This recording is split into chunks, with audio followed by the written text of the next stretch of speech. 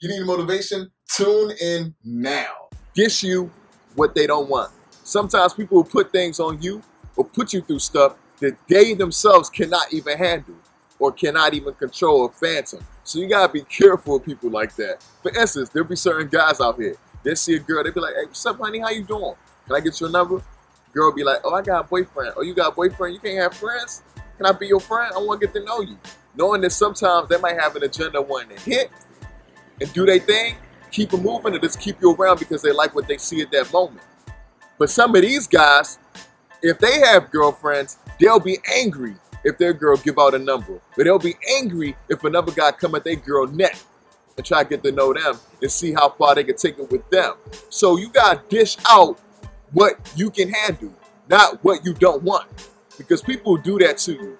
Certain times people will lie to you, tell you all types of stuff that they know ain't true and keep it moving and act like it's okay. But the moment they catch you lying, oh my gosh, it's a problem. They give you all types of names. They try to make you feel bad or feel less than a person. But when it's them, they can get away with it. Nah, man, treat other people the way you want to be treated and dish out what you know you will want dished out back to you. Sometimes I go to a restaurant and when I see people, servants, sometimes they'll give people very good servants. And when it's me, sometimes I feel like the servants ain't right. I feel like, man, it's a it's a little bit of it's a little bit of food they're giving me. And I say, excuse me, can you add some more to my plate? Can you put some more rice? Can you put some more uh, sides? Can you add some more of that? Yeah, more beans, more cheese, more whatever. Because at the end of the day, I work hard for my money the same way everybody else does. And if um, somebody else before me comes and they give that person a good amount of food, I deserve a good amount of food too. And one thing I noticed with some of these restaurants, like certain people look out for certain people. Like sometimes, you know, they treat the white people very good, like Spanish people or whites or blacks. And sometimes when the Spanish people see their own people, they treat them very good too. They hook them up, give them the hookup. But sometimes when they see black people, or me, but usually with black people, or people that look like me, you'll see that they will do the portions funny. Now, not everybody does this, but certain people will do this. I've, I've seen it, I've experienced it, so it's true. I'm speaking something that I have faced. And I'll be like, dang, like, why is my portions like off? And sometimes black people, we just take anything. And people start to see that, oh, they, they treat themselves like anyhow, they do anyhow, so we can dish them whatever and keep it moving. That's why sometimes you go to a Chinese restaurant and the owners will be arguing with the customers and they'll be looking some type of way or get out my store or talking to them like they some trash.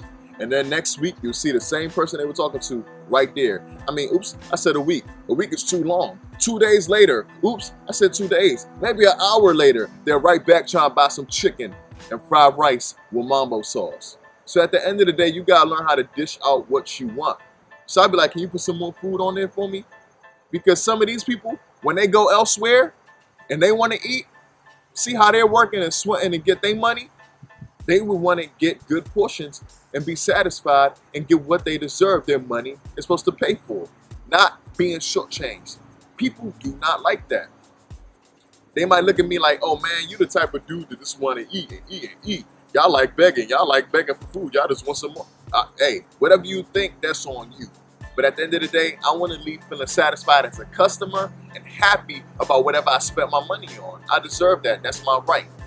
Also, there'll be certain people out here that they'll rape women. They'll do certain things bad to females or other people, but they don't want that for their own children or their own family members. So why you out there dishing it? Why you out there giving it out? Why you out there putting other people through habit? There's some people that they'll rape a girl or they'll rape a little child or hurt somebody. But when you do that to their own family member, who did it? Who did it? I'm gonna kill him. I'm gonna kill him. But you ready to go hurt somebody else's child. Some people that be in high positions, you'll see them. They'll be like, you know what we gonna do? We gonna use these people to come through to get an opportunity here. we gonna take advantage of them. Oh, excuse me, sir, I like to get this job. Oh, you wanna get this job?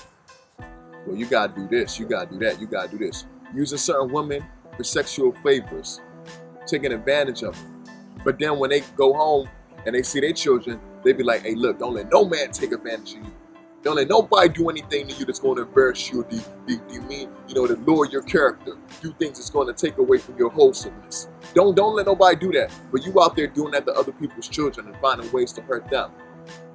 So always remember, people who do things to you that they do not want for themselves. And look out for those people because they're not good. Stay away from them.